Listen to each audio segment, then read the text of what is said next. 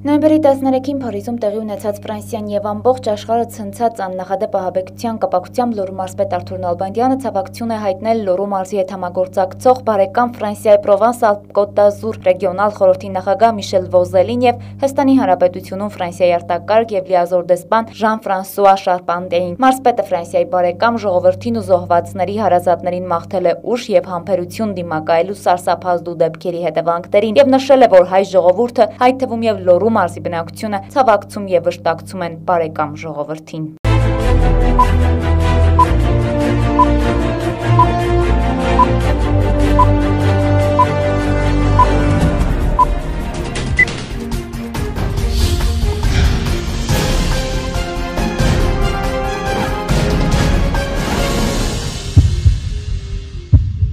Վանաձորցիների դժգոհություններին արձագանքել է քաղաքապետարանը, որոնք են քաղաքային երթուղայինների վատ աշխատանքի պատճառները պարզաբանել է համապատասխան բաժնի պատասխանատուն։ Այսօր հանդուրժողականության միջազգային օրն է, Վանաձորի 5-րդ դպրոցում խոսել է նոր վաղ խորհրդի մասին։ Օրվա համայնքը Լերմոնտովո այստեղ անհրաժեշտություն կա ներհամայնքային ճանապարհները բարեկարգելու։ Ամփոփվել են քաղաքացիական դիրքորոշման հետազոտության երրորդ օրվա արդյունքները։ Անհրաժեշտ են արդյոք սահմանադրական փոփոխություններ Հայաստանի Հանրապետությունում, հարցին պատասխանել է 50 քաղաքացի, եւ Ֆորտունան սկսել է հեռարձակել այո ոչի ուղիղ միացումները Հայաստանի տարբեր անկյուններից։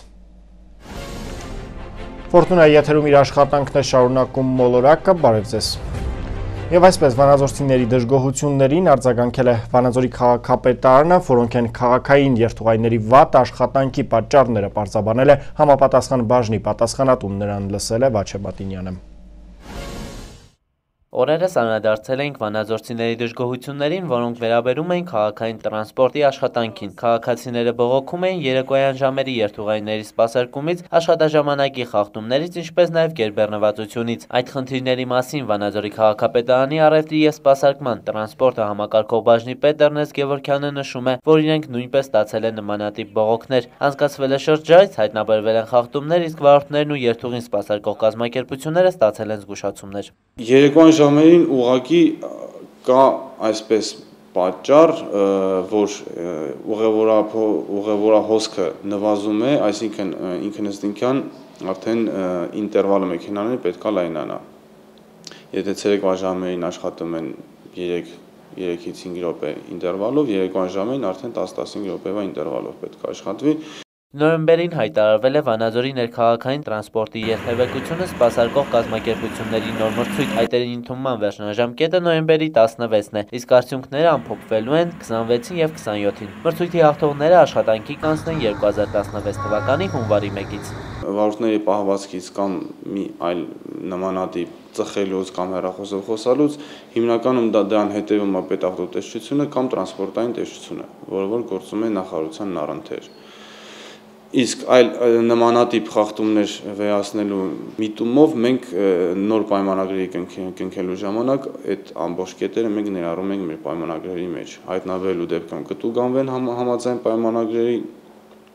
երկրորդ երկրորդ նմանատիպ խախտում կատարելուց տուգանքը կրկնապատկվում է եւ այլն դա այլ պայմանագրով է նախատեսված։ Մինչև տարեվերջ քաղաքային տրանսպորտը սպասարկելու են ներկայիս կազմակերպությունները։ Երթուղայինների աշխատաժամանակի եւ այլ տեղեկությունների մասին հետաքրքրված անձիկ կարող են տեղեկանալ Վանաձորի քաղաքապետարանի պաշտոնական կայքից։ Վերջում Էրնեստ Գևորքյանը հավելեց, որ քաղաքային երթևեկությունից դժգոհողները կարող են զանգահարել 0322 231 90 հեռախոսահամարով։ Վաչեմատինյան, Համլետ Պապանյան, Մոլորակ Ամփոփվել են քաղաքացիական դիրքորոշման հետազոտության երրորդ օրվա արդյունքները, անհրաժեշտ են արդյոք սահմանադրական փոփոխություններ Հայաստանում։ Հարցին պատասխանել է 50 մարդ։ Արդյունքները տեսանյութում են։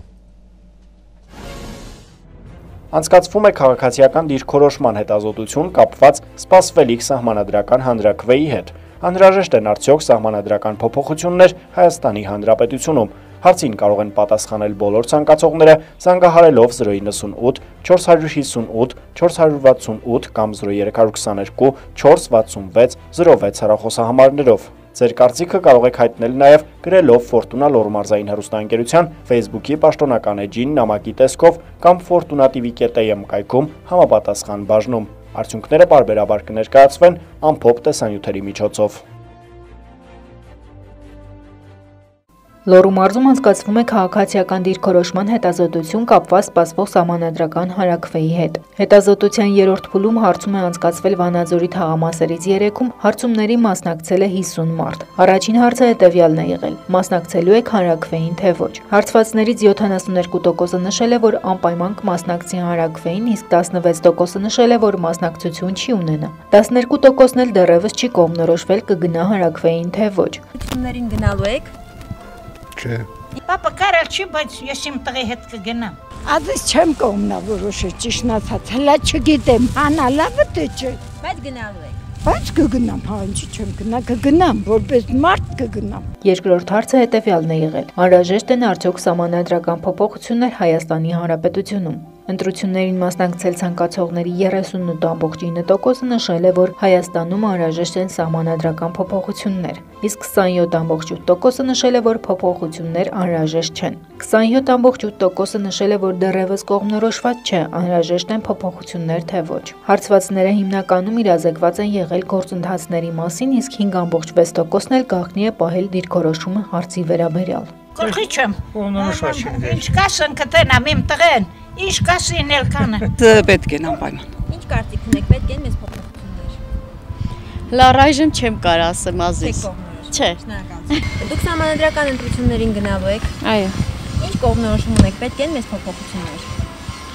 Ինձ թվում է պետք են։ Ոչ։ Գնամ էլ ոչ եմ ասելու։ Երևի հա, բա իհարկե։ Թողեք մի ազիզ ջան։ Թեմայի հետ կապված տեղեկացնենք նաև, որ Ֆորտունա Լոռու մարզայինը շարունակելով համագործակցությունը Arnews-ի եւ Ամեկ Plus-ի հետ նոյեմբերի 14-ից սկսել է հեռարձակել այո ոչի ուղիղ միացումները Հայաստանի տարբեր անկյուններից։ Սա ռեալիթի նախագիծ է, որի ընթացքում կատարվող ամեն բան անմիջապես հայտնվում է ուղիղ եթերում եւ հնարավորություն է տալիս հասարակությանը կողմնորոշվել ի վերջո այո թե ոչ։ Նշենք, որ մասնակիցները շուտով կլինեն նաև Լոռու մարզում, այնպես որ հետևեք ընթացքին։ Արմյուզը եւ Ամեկ Պլյուսը ներկայացնում են Կարեն Քոչարյանի նոր հերոստանախագիծը։ Նոեմբերի 13-ից սկսվել է քաղաքական հասարակական գործիչների ուղևորությունը մեր երկրով։ Այն կտևի մինչև դեկտեմբերի 2-ը, 20 օր։ Շուրջօրյա ուղիղ եթերը սկսված է։ Քաղաքական հասարակական գործիչներից 8-ը ուղևորվում են Հայաստանի հարավ, մյուս 8-ը հյուսիս։ Նրանք ունեն մեկ նպատակ՝ տեղեկացնել հանրությանը սահմանադրական բարեփոխումների եւ առաջիկա հանրակրվեի կարեւորության մասին։ Ուժերը բաշխված են հավասարաչափ։ Յուրաքանչյուր ուղղության 8 մասնակցից 4-ը կողմ է սահմանադրական բարեփոխումների նախագծին, իսկ 4-ը դեմ։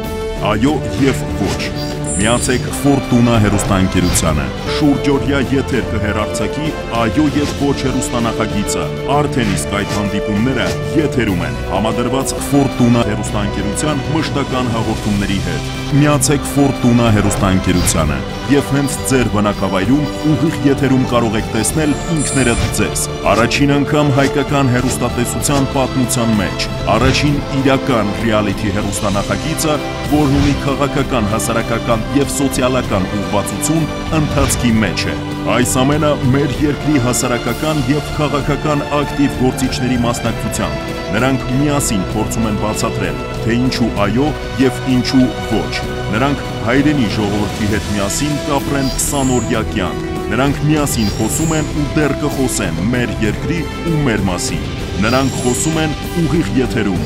Նրանք միասին անցնում են մեծ ճանապարհը, ճանապարհ, որն անցնում է հայրենի երկրի ամբողջ տարածքով, հյուսիսից հարավ եւ հարավից հյուսիս։ Բաց չթողնեք իրական մարդկանց իրական դիրքորոշումների ուղիղ պատմությունը։ Դիտեք Ֆորտունա հերոստանգերության եթերում։ Այլ թեմաներից Տաշիր հիմնադրամը մանկապարտեզներ կկառուցի եւս 3 քաղաքային համայնքներում, հանրամասները առաջարկվող տեսանյութում են։ Տաշիր հիմնադրամը գեր ժամանակագից մանկապարտեզներ կկառուցի նաև Իջևանում, Սպիտակում եւ Ալավերդիում։ Սպիտակում օրինակ մանկապարտեզի կառուցումը օրակարգային էր։ Քաղաքում թվարկում են միմյանց մոտ գտնվող թաղամասերը, որոնց կենտրոնում կգործի Կարապետյան ընտանիքի միջոցներով կառուցված մանկապարտեզը։ Վարպետաց թաղամասը, ուզբեկական թաղամասը, գրիգոր լուսավորիչ թաղամասը, էստոնական թաղամասը, շվեյցարական, իտալական թաղամասերը, որտեղ ճունենք մանկապարտեզ, Այստեղ արդեն մեկնարկել են հողային աշխատանքները, դա սպիտակցիների աչքից չի վրիպել նոր մանկապարտեզը փաստորեն թոր ունենալու լավ առիթ է։ Իմ տղան էլ ամուսնացել է, երևի շուտով կունենանք, էլի բալիկ կունենանք, մենք էլ զատը ուրախացել էին, ասում են, այն երեխա ունենանք, ստեղ մոտիկա մանկապարտեզ կտանք։ Շատ շուտով հողային աշխատանքներ կսկսվեն նաև Իջևանում եւ Ալավերդիում, մինչ այդ Կարեն եւ Սամվել Կարապետյանների միջոցներով ավարտին են մոտենում Ստեփանավանի եւ Տաշիրի մանկապարտեզների կառուցման աշխատանքները, որտեղ կհաճախեն հարյուրավոր երեխաներ։ Գաղտնիք չէ, որ մեր երկրում մեղմ ասած ոչ բոլոր մանկապարտեզներն են գտնվում բարվոք վիճակում, իսկ եղածները լիարժեքորեն չեն բավարարում առկա պահանջարկը։ Ոստի պատահական չէ, որ կրթության ոլորտը մշտապես ուշադրության կենտրոնում պահող Տաշիր հիմնադրամը բարբերաբար նոր մանկապարտեզներ է կառուցում։ Կարապետյան ընտանիքի համոզմամբ այս ոլորտում կատարվող ցանկացած ներդրում միտված է ապագային։ Այդ ուղությամբ տարվող աշխատանքների պտուղները բոլորս քաղելու ենք վաղը եւ պատահական չէ, որ այս ծրագիրը եւս շարունակական է լինելու, խոստանում են հիմնադրամը հիմնադրամից։ Առաջիկայում նոր մանկապարտեզներ են կառուցվելու նաև հանրապետության այլ համայնքներում։ Գերժամանակակից ակնահաճո եւ հարմարավետ կառույցները ընտանիքի համոզմամբ կրթության եւ դաստիարակության երկարատև ու բարդ շղթայի հիմքն են։ Կարապետյան ընտանիքի միջոցներով շարունակվում են մեծածավալ այլ ծրագրեր եւս վերջիններիս ֆինանսավորմամբ Վանաձորում էլ ավարտվում են մարզային հիվանդանոցային համալիրին կից կրկին գերժամանակակից ծննդատան շինաշխատանքները, ինչպես ասում են հիմնադրամից, ամեն ինչ դեռ արժևում է։ Օրվա համայնքը Լերմոնտովո այստեղ անհրաժեշտություն կա ներհամայնքային ճանապարհները բարեկարգելու։ Համայնքապետի հետ զրուցել եւ համայնքի խնդիրների մասին տեղեկացել է Անի Հարությունյանը։ Լոռու մարզի Լերմոնտովո համայնքում խնդիրներն այնքան էլ շատ չեն նշում է համայնքի ղեկավարը։ Գյուղում կա կիսակառույց նախադպրոցական ուսումնական հաստատություն, որի շինարարական աշխատանքներն անավարտ են մնացել, իսկ թե երբ կվերսկսվեն դեռևս պարզ չէ։ Համայնքն ունի 900 բնակիչ եւ 300 տնտեսություն։ Ներհամայնքային ճանապարհներն անբարեկարգ են։ Հակակարգտային կայանի բացակայության հարցն իր լուծումը դեռ չի ստացել։ Պատճառը ֆինանսական միջոցների սղությունն է։ Դե առաջնահերթը մեր այսօր մանկապարտեզն է, հա, ուրեմն մենք մի քիչ վերանորոգել ենք շարունակությունը ուզում ենք շարունակենք էլի որ մյուս տարի գումարելի որ շարունակենք առաջնահերթը մանկապարտ երկրորդը գյուղամիջյան ճանապարհներն է դեզ ասած Համայնքը գազաֆիկացված է ունի դպրոց, մշակույթի տուն, փողոցները լուսավորված են։ Վերջին տարիներին գյուղում կառուցվել է խաղահրապարակ։ Լերմոնտովոն ունի խմելու եւ ռոռոկման ջրի խնդիր։ Անի Հարությունյան, Մոլորակ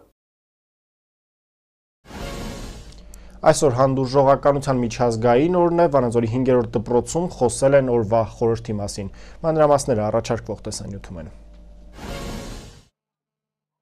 Այսօր հանդուրժողականության միջազգային օրն է։ Այն սոցիալական ներդաշնակության անհրաժեշտ եւ պարտադիր պայմաններից մեկն է։ Կարիտասի փոքրիկ իշխան կենտրոնի բարին արա ծրագրի շրջանակներում իրականացվող միջոցառումների շարքից էր Վանաձորի Վահան Տերյանի անվան 5-րդ ավագ դպրոցի 9-րդ դասարանի աշակերտների եւ դպրոցի հոգեբանի ջանքերով կազմակերպված «Տուրինս քոբարությունը» խորագրով միջոցառումը, որի ընթացքում աշակերտները հանդուրժողականության եւ համերաշխության կոչ են անում։ Մեկ գլխավոր նպատակ ծանոթացնել աշակերտներին հանդուրժողականության հասկացությանը, որպեսզի մեր աշակերտները դառնան ավելի հանդուրժող հանդուրժող ոչ միայն միմյանց, այլև ընդհանրապես շրջապատի նկատմամբ։ Մեր հոգեբաններից կարծիքով հանդուրժողականությունը առաջին հերթին նշանակում է հարգել դիմացինին, նրա անհատականությունը, որ մարդիկ տարբեր են իրենց խառնվածքով, բնավորության գծերով եւ աշխարհայացքով, եւ միայն պետք է մարդուն հանդուրժել եւ ընդունել նրան այնպիսին, ինչպիսին որ նա կա։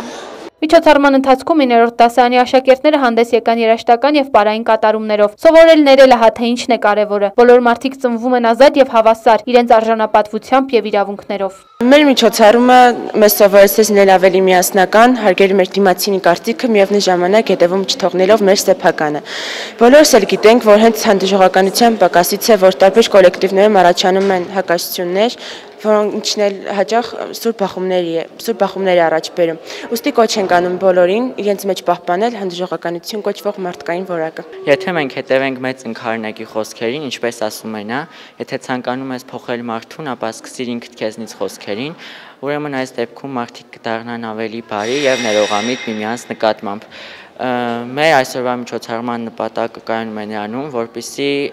մարդկանց սովորեցնենք, որ դառնան միմյանց նկատմամբ ավելի հանդուրժող, ներողամիտ եւ բարի։ 1995 թվականի նոյեմբերի 16-ին ՅՈՒՆԵՍԿՕ-ի անդամ երկրներն ընդունել են հանդուրժողականության սկզբունքների հռչակագիրը։ 1996 թվականին ՄԱԿ-ի գլխավոր վեհաժողովի առաջարկությամբ նոյեմբերի 16-ը նշվում է որպես հանդուրժողականության միջազգային օր։ Մեր օրերում նկատվում է հանդուրժողականության բռնության եւ ծայրահեղականության կտրուկ աճ։ Հանդուրժող պետք է լինել ոչ թե վարքագծի, այլ մարդու անձի նկատմամբ։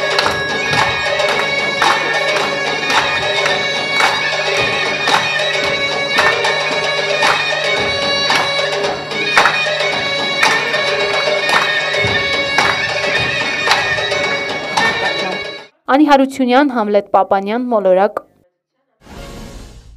Սպասվող եղանակի մասին կարճատև դադարից հետո կխոսի Անի Մարուկյանը, իսկ ես ձեզ հրաժեշտ եմ տալիս եւ մաղթում ամենայն բարիք ցտեսություն։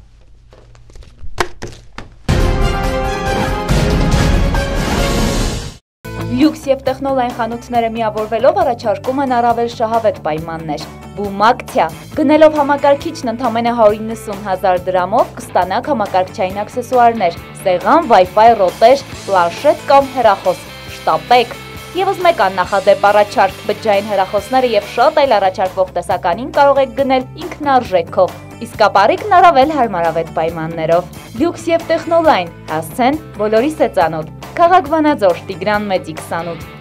Լյուքս մասնագիտացված խնութսրա։ Խնայեք ձեր ժամանակը։ Սփյուռք տեղեկատու, զանգահարել 51 99 99 հեռախոսահամարով։ Փնտրում եք որևէ կազմակերպության հեռախոսահամար։ Զանգահարեք Սփյուռք շուրջօրյա տեղեկատու 51 99 99։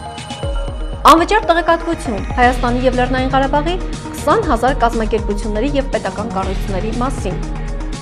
Սփյուռք տեղեկատու 51 99 99 Անհրաժեշտ տեղեկատվություն օրվա ցանկացած պահին. 51 99 99 Evadent ստոմատոլոգիական կլինիկա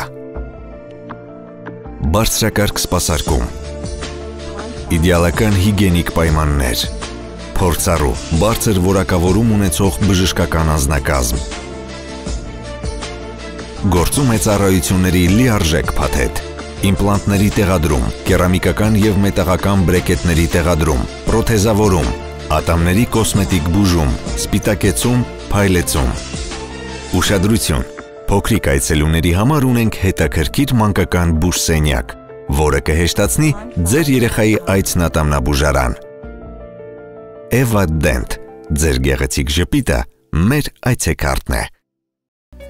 Շուրջ 10 տարի առաջ 68 ուսանողի համար իր դռները բացեց Հայաստանի ազգային agrarային համասանի Վանաձորի մասնաճյուղը։ Այժմ բարձրագույն մասնագիտական կրթություն է ստանում 500 ուսանող։ Տնօրինության մշտական ուշադրության կենտրոնում են ուսումնական բազայի հզորացումն ու կրթության որակի բարելավումը։ Բարեկարգվում է ուսումնական մասնաշենքը։ Մասնաճյուղում գործում են անասնաբուժասանիտարական փորձաքննության, սննդի անվտանգության, գեոդեզիայի, գյուղմեքենաների եւ սարքավորումների, ավտոմոբիլների եւ տրակտորների, մեքենաների մասերի, ֆիզիկայի եւ էլեկտրոտեխնիկայի, հողային հետազոտությունների եւ այլ լաբորատորիաներ ու կաբինետներ։ Ժամանակակից տեխնիկական միջոցներով հագեցած կոնֆերանս դահլիճը հնարավորություն է տալիս լիարժեք խորհրդատվություն անցկացնելու համար։ Ագրոտուրիզմի զարգացման բնագավառում մասնավորապես տուրօպերատորների եւ շահագրգիռ ֆերմերների վերապատրաստման գործընթացում Հայաստանի ազգային ագրարային համասանի Վանաձորի մասնաճյուղը սրտորեն համագործակցում է Լոռու մարզպետարանի եւ Ֆրանսիայի Պակա մարզային խորհրդի խորհրդի հետ։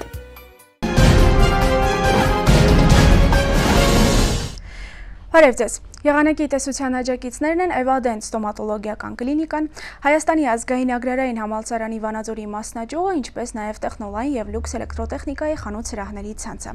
Այժմ ծանոթանանք օթերևութաբանների կանխատեսումներին։ Լոռու մարզում նոյեմբերի 17-ին օդի միջին ջերմաստիճանը կանխատեսվում է մինչև 11 աստիճան տաքություն։ Այժմ ջերմաստիճանն ըստ քաղաքների։ Տաշիրում գիշերը սպասվում է 1 աստիճան ցրտից մինչև 7 աստիճան տաքություն։ Ալավերդիում գիշերը կդիտվի 4, ցերեկը կբարձրանա մինչև 12 աստիճան աստիճան։ Սպիտակում գիշերը սպասվում է 2 ցերեկը մինչև 9, Ստեփանավանում գիշերային ժամերին կդիտվի 6 ցերեկը մինչև 10, Վանաձորում գիշերը սպասվում է 4 ցերեկը մինչև 12, իսկ Համարյա քաղաքում գիշերը կդիտվի 6 ցերեկը մինչև 12 աստիճան տաքություն։ Հանրապետության տարածքում նոյեմբերի 17-ին շրջանների մեծ մասում, 18-ին Սյունիքում սպասվում են տեղումներ։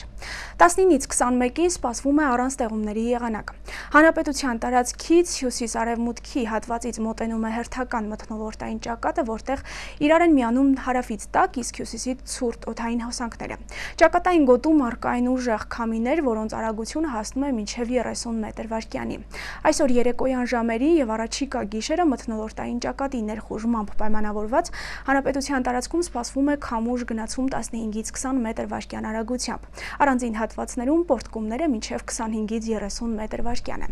Նոյեմբերի 17-ի օրվա երկրորդ կեսից քամիների արագությունը աստիճանաբար կթուլանա։ Օդի ջերմաստիճանը 18-ին կնվազի 2-ից 4 աստիճանով, 19-ից 21-ից ցերեկը նույնքան կբարձրանա։ Երևանում առաջիկա 1 շաբաթ արևոտ եղանակ է սպասվում։ Իսկ տարածքային կառավարման եւ արտակարգ իրավիճակների հիդրոմետ ծառայության օթերևութաբանության կենտրոնի պետի տեղակալի խոսքով մինչև նոյեմբերի 24-ը ձյուն չի սպասվում։ Իսկ թե ինչպիսի ձմեռ է սպասվում դեռ պարզ չէ։ Եվ մեկ եղանակային լուր աշխարից։ Հնդկաստանում հեղեղների հետևանքով առաջացած տարերային աղետներից առնվազն 60 մարդ է զոհվել։ Հորդարատ անձրևները տեղացել են Թամիլանդ նահանգում, որտեղ ապրում է ավելի քան 70 միլիոն մարդ։ Մի շարք շրջաններում վարարումներից զոհվել են տասնյակ մարդիկ։ Անձրևները խախտել են կյանքի առօրյական ռիթմը ողջ նահանգում, առաջ բերելով խցանումներ եւ երկաթուղային հաղորդակցման խնդիրներ։ Ըստ օթերևութաբանների, անձրևները կշարունակվելու են դեռևս 3 օր։ Եղանակի մասին այսօր նախատեսել էինք այսքանը։ Ամենայն բարիք ձեզ։ Ցտեսություն։ Thank you.